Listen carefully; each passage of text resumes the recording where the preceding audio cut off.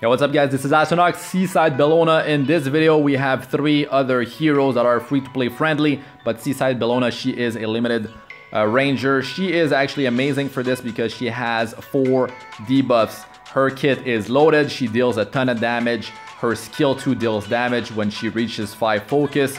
It's uh, an AoE attack, defense break on skill 2, unhealable, and unable to be buff debuff on skill 3 which are only going to help for increasing the amount of debuffs on the boss. Skill 1 with the target debuff is great to increase the damage output of your team against the boss. So just to show you guys, this team is actually uh, easier to gear for because, I mean, Seaside Bellona increases the chances of like of having more debuffs uh, being applied on the boss, which is really great. In the front line, we have Crozet. He has attack break on skill 1. You could build up his effectiveness uh, but yeah, I mean, you might, you, you should go for survival initially. So now we have two debuffs on the boss. We have four debuffs now, so that's great.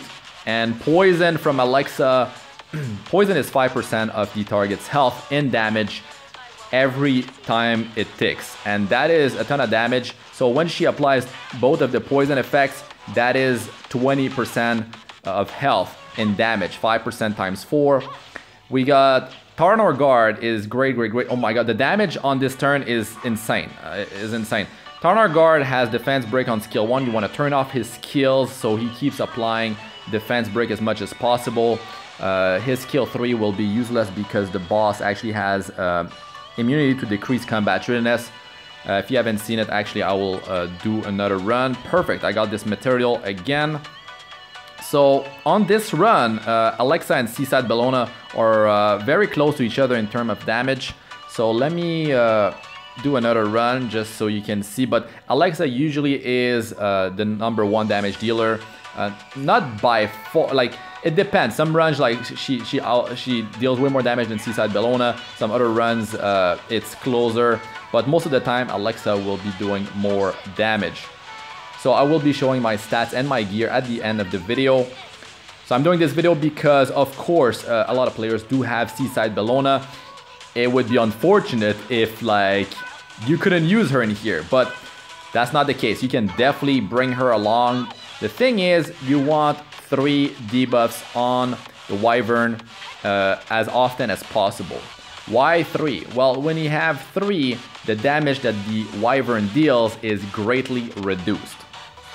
So right here, Fireball Barrage, the last, uh, second to last line. When the caster has two or fewer debuffs, damage dealt is greatly increased.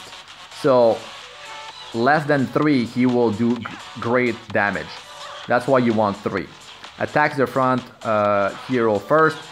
The thing is, you want to bring ice heroes in here. I'm gonna do a quick guide for you guys. You want to bring ice because ice deals 30% more damage. And also, non-ice will take 30% more damage.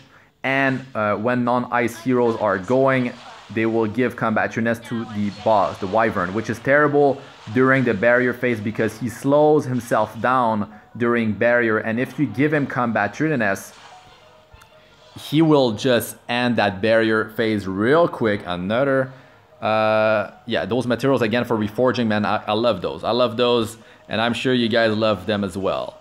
So, uh, yeah, so in terms of uh, the reason you need debuffs is you want to greatly reduce the amount of damage that the Wyvern does.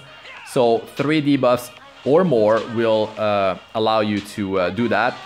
And the boss, the Wyvern, will attack a random party member if you don't have at least two debuffs. It seems to be bugged because when I'm reading it, when I'm reading uh, the, abil uh, the ability, it says that you need, it's, it's basically worded the same way as the uh, greater uh, damage increase. It says like if you have two debuffs uh, uh, or less, the boss will decide to attack a random party member. So if the wording is wrong, then that's good for us. But if it's if it's an issue with the game, uh, then the boss will get harder. Because if you don't have three debuffs, the boss will also decide to attack a random ally in the group. Beside on turn one, on turn one he will go first. The boss has something like 250 speed, by the way, guys. It's like, it's there's no point to go first because, yeah, you will, yeah, you want to go after the boss, especially with your defense breakers. This thing, super acceleration, increase attack after attacking. The effect can be stacked when the caster is inflicted with two or fewer debuffs while below max health, attacks a random enemy with Fireball Barrage. It says inflicted with two or fewer debuffs. So what's up with that? It, it looks like you only need two debuffs uh, and the, the boss will attack the front liner. So it, it's an issue with the wording or it's a bug. Hopefully it's an issue with the wording or the boss will uh, be uh, harder to deal with. But this team can definitely do it just fine. Sword of Azira artifact is on Crozet, upping his survival by a ton, reducing the damage of uh, elite and boss monsters by 30%. So it's a knight artifact. You can get it from the Hall of Trials shop and you can limit break it five times and have this thing uh, reduce the damage considerably on uh, your knight in my case, it's Crozet. He's a free-to-play uh, hero. You can get him from the connection. Once again, very close to each other. I don't know uh, the run just before. I didn't even pay attention how the damage was, but I'm just going to keep on going in here. uh, the stats and gear will be after the battling, but I want to go through the, the fight mechanics, right? Um, so yeah, having ice heroes is a like a major deal because it will be much easier to gear your team. Uh, you don't need healing if your gear level, your offensive power is high. Uh, and also you want to tweak your speed, so of course your defense breaker goes first, and then your damage dealers. In my case, Taranor Guard goes first, and then it's the rest of my damage dealers. Uh, I don't really care about uh, Crozet, but let's say you wanted to gear him well, right? First you aim for survival. So you want like with triple health sets, uh, with uh, all the right gear, right side gear maxed, uh, you need something like 50 50% health in substats total from the uh, the items on the left side, right? And that is item level 75. That's like the free health uh, set that they gave us uh, very recently for the rebirth event. So it's not too much. He will get 30,000 health. He will have maybe a thousand 300 defense. It really depends on your substats though. Maybe my defense rolled a bit higher, but the thing is I swapped one piece to have a defense percentage on the right side. Uh, so he's running two health percentage pieces on the right side plus one uh, defense percentage and they're all they are all health sets. so you can make it happen with just an item with no healing if your uh, survival stats are high enough. But the Sword of Azira is a, a, a, big deal. It's a big deal, so I would uh, recommend that you go get it uh, and limit break it over time because it's very helpful here and I'm sure it will be helpful in the future in other uh, PV content as well. Alexa, you want to have her skills going because she has uh, the poison on skill number two and this will help you to actually uh, have three debuffs or more on the boss or at least two right now because at least you won't have one of your party member getting uh, you know killed by the uh, fireball barrage even though like Seaside Bellona can survive it because she has the 30% damage redirected to the frontliner but like Alexa and Taranor Guard will not survive unless of course they have like uh, I mean, they will need something like over 10,000 health, I believe, because their defense is pretty low, especially Alexa. So Alexa's skills are turned on, Seaside Bellona's skill are turned on, and uh, Crozet and Taranor Guard, you turn them off because Crozet, you just want him to use skill 1. Skill 3 lowers combat readiness, which uh, won't work against the boss, and skill 1 has attack break. So Crozet, you up his survival. If you feel confident with his survival, you can increase his effectiveness. You need 65% effectiveness in this boss battle to actually counter the 80% effect resistance that the boss has. 15% you cannot counter because that's the innate, uh, you know, resist. That's just the way it works.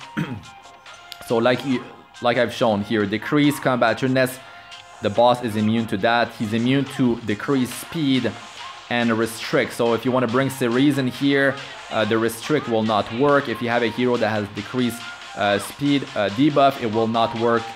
Uh, it won't be applied to the boss, so that means you, that's not going to be a, a, debuff you can count on to uh, actually uh, work toward that three debuffs, at least two debuffs right? The three debuffs is to uh, considerably lower the damage output of the Wyvern. The thing is, if you have a tag break on top of those three debuffs, the boss's damage will be very, very low, which is even safer uh, with a Knight without healing, or if you're going to be running the team that I was running in uh, the free-to-play video with guide and tips i mean that, that's pretty much this video as well uh, i'm gonna label this as a guide with uh, tips but i'm just clarifying some stuff for some players uh, I've been told I talk too fast, but I kind of have to like get it going right because uh, I mean it's a lot of information. So I'm sorry about that, guys. You can just rewatch, I guess. Uh, you know, if, if, you're getting a headache by uh, how fast I speak, just take a break, come back to it. So the amount of debuffs part of this team is amazing. It's definitely amazing. It's it's very reliable. Uh, you're seeing it in action. Poison damage right there uh, dealing a ton of damage. Man, I love these materials. I'm, i just keep getting them. It's great. It's great. Sometimes I run like this thing 20 times and I get like no materials. I don't know what's happening, but I love it. Once again, Seaside Bellona is very close to Alexa, and uh, that's that's definitely great. Uh, this is going to be the last one, actually. We might end up failing this one. So, yeah, Taranor Guard, 75% chance to defense break for one turn on skill 1. Uh, that is very, very, very, very powerful. But the thing is, I'm using uh, the uh, wow Junkyard Dog artifact on him, which has a chance to apply burn for two turns. So that's an extra debuff coming out of him, right? Uh, so it, it's actually quite helpful. It's quite helpful, and I would say that you should put your best Daydream Joker on Alexa first, and then, oh my god, these, uh, these ads are doing a lot of damage. I would say put it on Alexa first and then Seaside Bellona. But if you have, let's say, better gear on Seaside, she's fast as well, uh, especially if you're running her on speed boots, her crit damage is higher, her speed is higher than Alexa, then since your skills are turned on and Alexa is not just using skill 1, which attacks another time, then maybe put your best uh, Daydream Joker on Seaside Bellona. And then second best, Alexa and Taranor Guard. Well, you could have Daydream Joker on him, or you could have uh, Junkyard Dog to have some burn, uh, like a burn for uh, two turns. Like there, it just applied. So uh, that definitely helps a ton. What else could I say about this team? Uh, the defense break plus the target debuff uh, increases your damage output against the boss by a, ridiculous amount. Right here, we don't have three debuffs, so if uh, it's wrong and you actually need three debuffs in the future, then, you know, like, it's gonna be harder. So the thing is, heroes that um, are not free-to-play heroes, right? Most of them have some pretty uh, amazing kits, like the amount of damage they can deal, but like on top of the damage, they have some debuffs that last for a long time. Uh, so they actually help a ton. Like a, a Sigrid, a Dizzy, of course, she's limited. Uh, these heroes will make this thing so much easier, like a Chloe. Crazy heroes that, oh my god, so Alexa just ripped there. She just ripped, and uh, see if we don't, okay, we got the defense break. I think we should be fine. Okay, we got a dual attack here, so it should work out. Oh my god, that was so close. So close, but this could have been uh, a rip right there. Alexa took a lot of damage from the ad, and then, like, since we don't have any source of healing, right, because there's no healer here, then uh, that, that's what happens. That's what happens. The, uh, the, the, tail, the tail whip took us out. Took us out. Seaside, of course, beats and materials again. That's funny. Okay, so let me go, just go uh, and show you the stats right on my team. And then okay might as well grab our nope never mind. Never mind so crozet right? You can reach what? Okay 30,000 health on him very easily. Uh, mine is uh, he was 27,000 because of the memory imprint of Seaside Bellona from an unknown slate I've used before. But let's say when I was running him with triple health main stat uh, you know, health sets, he only needed like this is 22 plus 27. Okay, okay, never mind. That that's uh, that's 59 already. Yeah, that that's uh, 77. 77 health on the left side. So I guess it, it's not that easy to obtain, but uh, I mean, you will get pretty close to 30,000 health. And the Sword of Azira is all, almost giving a thousand health as well, but like he, it's max, right? I, I planned for this, so that, that's why. So you could increase his effectiveness for the attack break, especially if you have skill ups onto him, but he's not top priority. I would say the other heroes are top priority and Molagoras, they are hard to come by as well.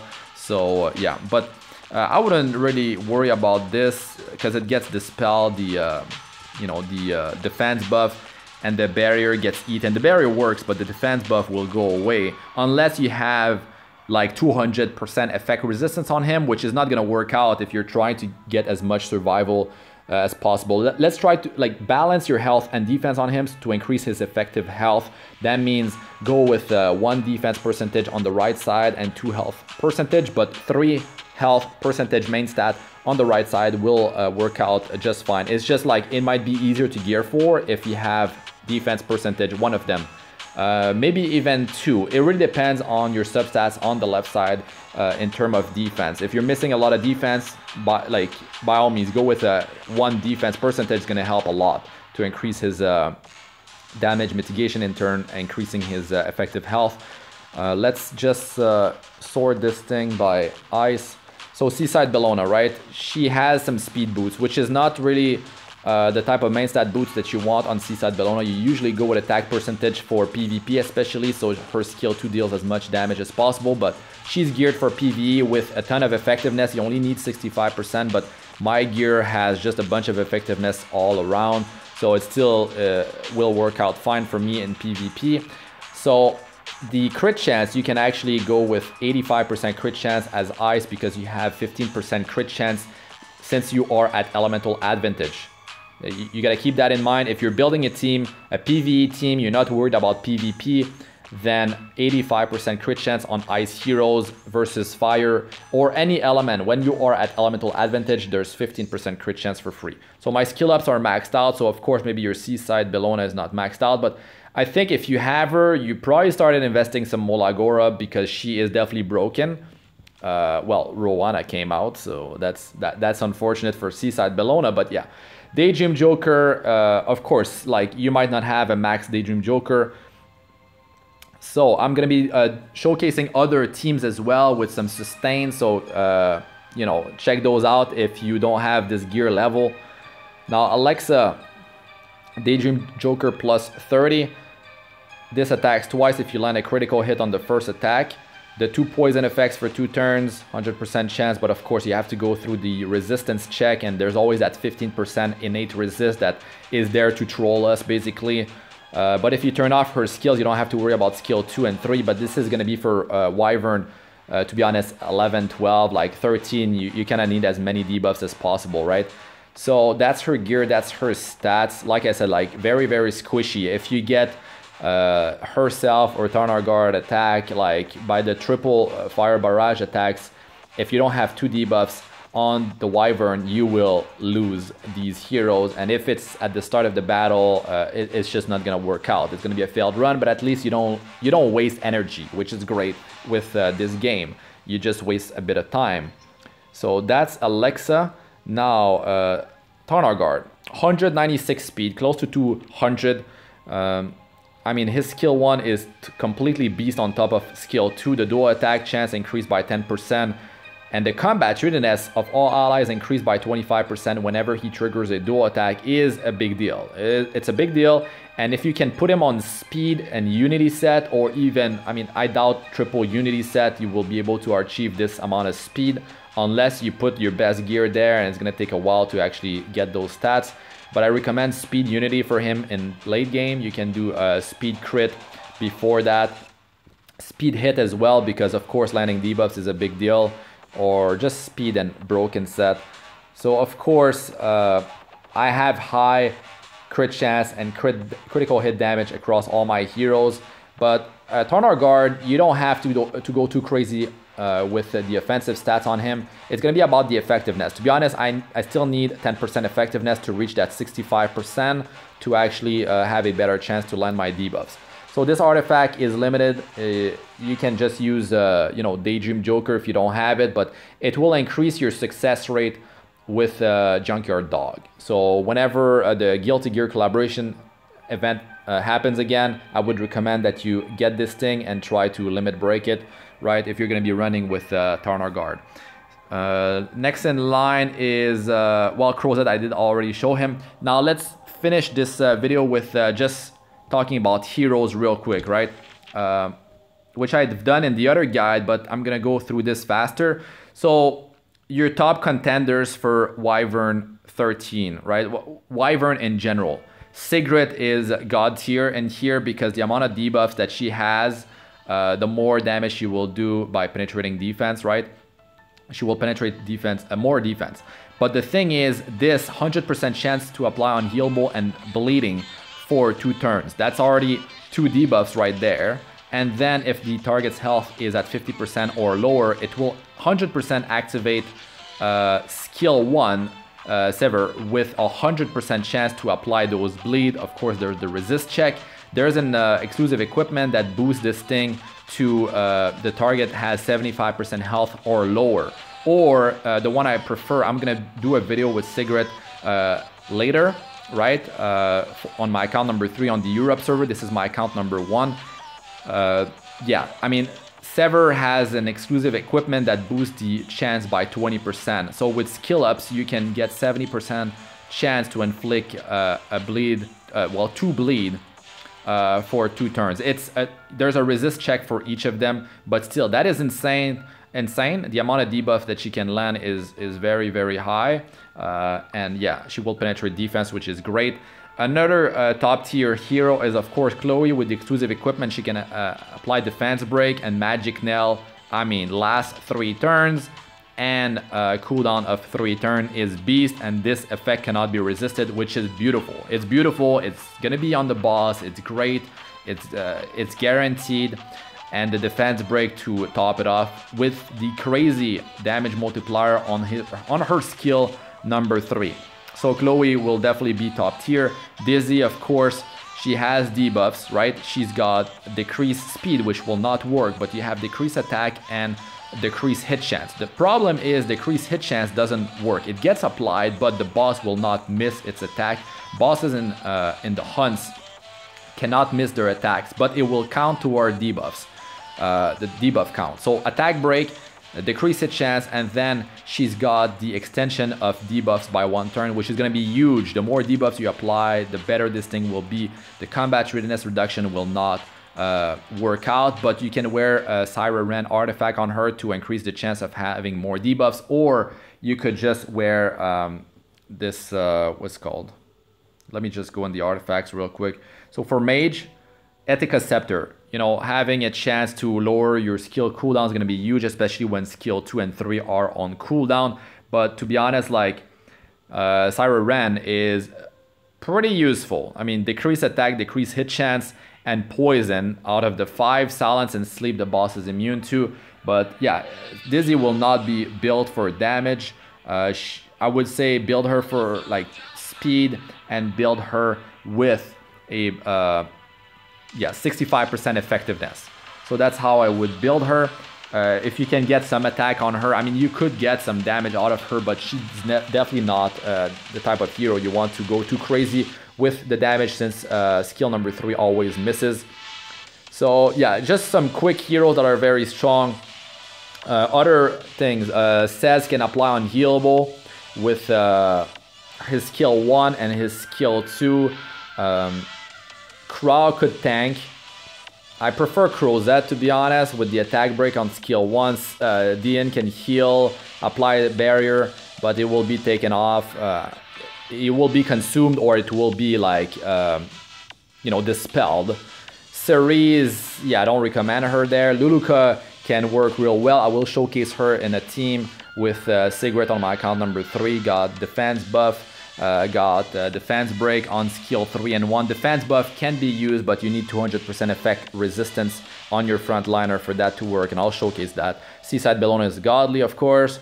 Uh, in the 4 star, you got uh, Karin with uh, defense break and 2 crazy damage on skill 3 with the extra turn. And uh, Clarissa can definitely be a solid choice. If you have these heroes already built, then there you go. The two bleeds for two turns plus defense break that was added on her skill 3 plus defense break for two turns on skill 1.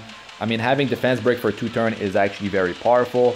So Clarissa can definitely be a viable contender. Uh, Crozet frontline, of course. Uh, Angelica frontline heal or in the back, but I would say since you need so many debuffs, I would stick her in the front line with a Prophetic Candlestick uh, and she will do pretty good. If you have the right survival stats, she can do it, and I will showcase that. Furious is really powerful. Uh, you can use the uh, the artifact, five, five star artifact to apply target debuff. Um, the what is called star. I'll uh, I'll show you guys. But he has decreased defense, 100% chance. There's the 15% innate resist, so it's it's not on skill one, so it's not as powerful as Taranor Guard, I would say. You can fully use the crit chance buff, especially the faster he is. Uh, for the rest of your team, if you want to go with 35% uh, crit chance plus the buff bringing you to 85% crit chance on Ice Heroes, which is going to work out fine. He's got potential burn for two turns. So debuffs out of him, it's great. Uh, who else can I talk about?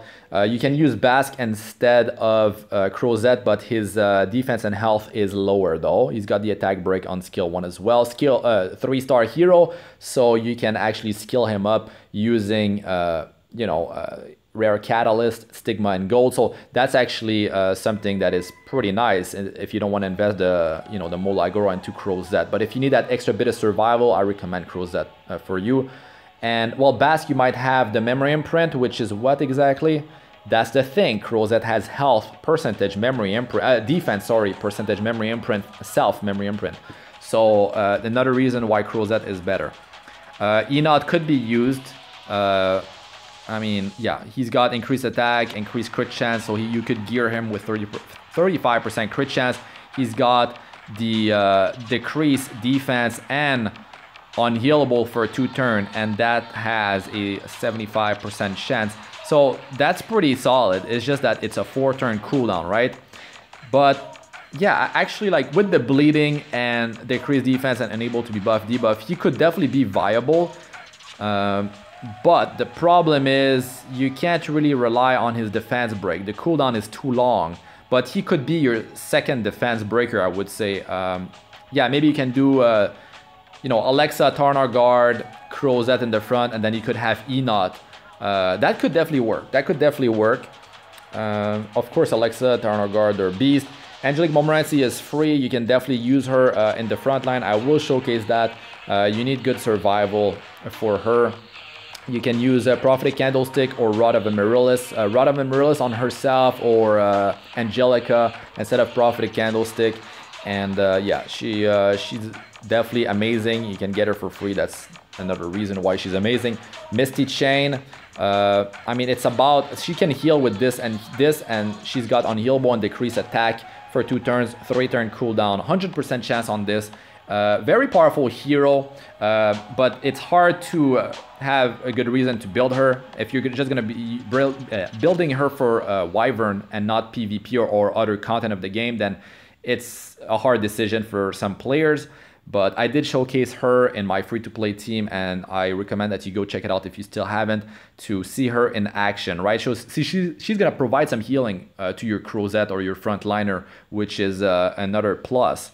So, I think it covers uh, the heroes. I guess you could use Aither as the healer to your frontliner, but then you're gonna have less debuffs being applied, unless you can have maybe a Taranor Guard with uh, maybe like Seaside Bellona, have uh, Dizzy, uh, like someone, Sigrid, like if you have Sigrid, debuffs are kind of covered just with Sigrid, so that's very, very powerful by itself. The artifact I was talking about, about uh, applying the, where is it? Song of Stars, right? This thing has a 100% chance to make the enemy uh, become targeted for two turns after a single attack. So you need to be doing a single attack to trigger this thing, but as it's a 100% chance. Unfortunately, it's a 5-star artifact, but still the chance will be pretty good with just once at 75% chance. And two turn is very powerful, of course. So yeah, there you go, guys. That's going to be it for this one. Thanks for watching, Masternox. Like, comment, and subscribe for more. Press the bell icon to be notified whenever I release a new video. And check out my other videos. They should be showing up on the screen now. I got playlists of all sorts for PV and PV, uh, PvP content, Arena Guild Wars guides, tips and outros, and best 462 plus, as well as best other guides for my early to mid game players. Join my Discord server. We have over a thousand members now, guys. If you want to get helped or help the community, feel free to join us. And that's really it for this one. I'm Astranox. Stay safe out there. COVID-19 is no joke. Stay home as much as possible. Good luck with all you do. Peace out for now. And check out my other videos showcasing, uh, you know, uh, different group compositions. If you might have uh, these heroes, well, that's good. You don't have to build like uh, some like free-to-play three-star heroes that you don't feel too good about building. But anyways, peace out for now.